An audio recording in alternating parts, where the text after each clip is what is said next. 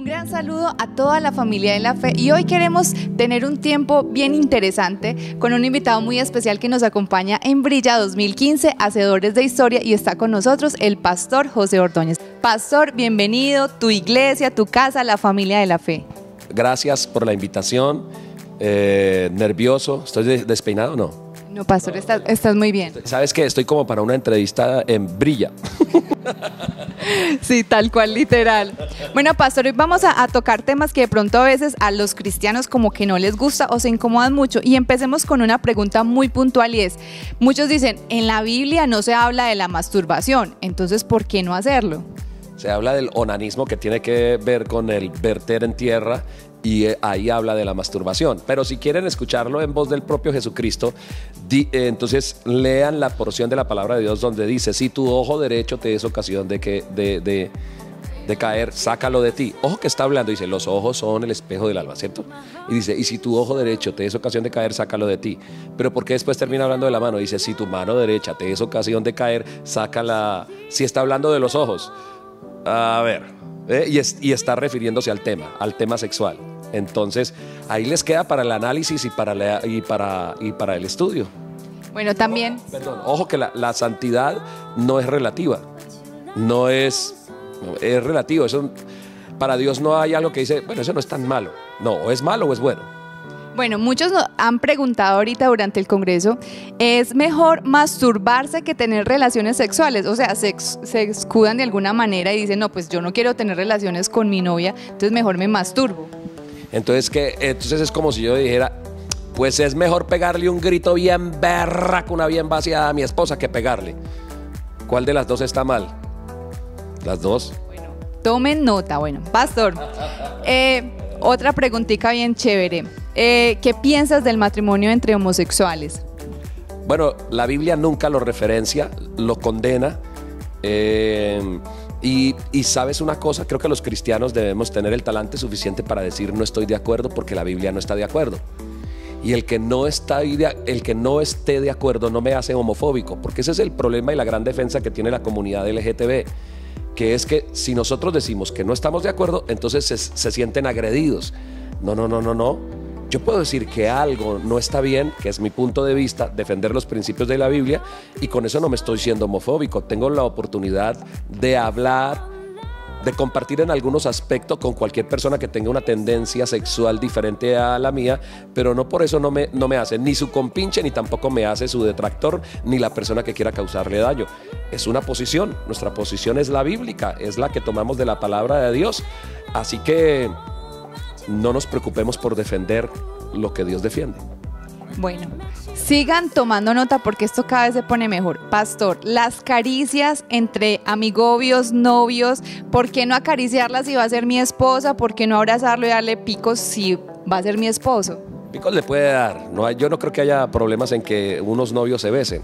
Pero si me dices de caricias, pues yo le puedo acariciar la mano. ¿Hasta dónde la caricia empieza a ser tendenciosa y puede abrir espacios para cosas que sean... Mire, cuando uno habla con los jóvenes y dicen, mire que tuve relaciones sexuales con uno y con otro y con...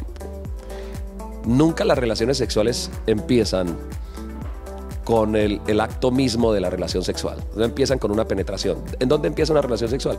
En la caricia de una mano, de una mano, en la caricia de una cintura, en la caricia en algo que, que pasó los límites que no deberían haber pasado. Entonces, las caricias, no todas las caricias están permitidas, no todas las caricias son buenas. El problema es cuando las mujeres eh, no frenan. ¿Por qué, ¿Por qué, dicen, ay, es que nosotras somos las que tenemos que frenar? Sí, yo lo creo. El hombre es mucho, tiene una mayor procacidad a la sexualidad.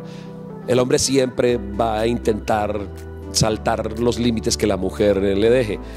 Y ella tiene que aprender a hacer respetar su cuerpo. Y no se trata solamente de lo que es el acto sexual ahora en el ya. Es que eso conlleva situaciones hacia adelante que no son buenas, que van de tipo moral, de tipo espiritual. Nosotros tenemos un código moral, sexual y ético que Dios nos ha entregado y estamos llamados a cumplirlo. Yo te tengo el micrófono, tranquila. Pastor, bueno, y listo, ya le hemos dado muy duro, muchos han tomado nota, pero aquellas personas que de pronto cristianos o apenas que están llegando y dicen, bueno, no he tenido el mejor proceso en mi vida, la he embarrado, he cometido todos los errores, entonces ya no tengo perdón, ¿cómo hago para empezar de nuevo? Lo primero que les invito es a que escuchen la predicación de las 11 de la mañana que se llamó Dignidad. Escúchenla. Lo otro que deben tener en cuenta es que para Dios, siempre cuando haces una confesión de pecado, el pecado no existe ya. Las cosas viejas pasaron. Si viene un muchacho y dice, yo en el pasado fui esto, fui esto, fui esto, hice esto, hice esto. Si una niña dice, vea, yo en el pasado hice esto, hice esto, hice esto. Entonces para mí no hay oportunidad. Claro que hay oportunidad. Jesús dice, las cosas viejas pasaron, todas son hechas nuevas. Siempre hay oportunidad de volver a empezar. Si crees que definitivamente Dios es Dios, este es un mensaje para los muchachos y las muchachas.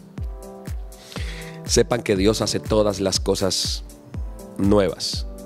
Aquí hay una vida que se ha equivocado millones de veces y siempre hay una oportunidad para recalcular y empezar a hacerlo bien.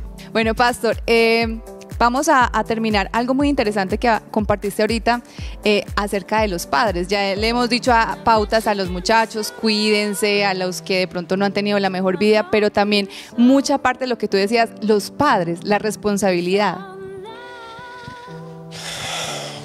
Es, ¿por, qué, ¿Por qué suspiro y por qué me quedo así? Digo, que de tantas cosas que necesito decirle a los padres puedo sintetizar en una entrevista?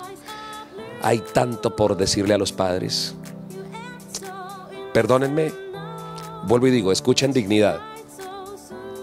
Pero y las mujeres no les va a gustar lo que yo voy a decir. A muchas madres no les va a gustar. Muchas de las causas del mal proceder del joven paisa, la culpa la tiene la mamá. Viejas alcahuetas. Yo dije que esto no iba a caer muy bien, porque la mujer quiere evitarle los dolores a su hijo porque quiero enaguarlo, porque no lo hace responsable por su propia vida. Y ya es hora de que las madres aprendan que ser madre amorosa no significa que todo se lo tienen que consentir a los hijos. No hablo de los padres porque ya es suficiente que les he dado a los padres en todas las predicaciones, pero, pero definitivamente creo que la sociedad paisa debe dejar de ser tan matriarcal sería mucho más desarrollada y con decir que ustedes son un digno ejemplo para todos en todo el mundo, no solamente para los colombianos. Pero imagina hasta, hasta dónde podría llegar la raza paisa sin haber, sin que no hubieran madres que entorpecieran tanto el proceso de educación de sus hijos. En ese orden de ideas, el padre tiene que tomar la posición que le compete. Debe ser un padre, padre. La Biblia muestra siempre una familia de tipo patriarcal.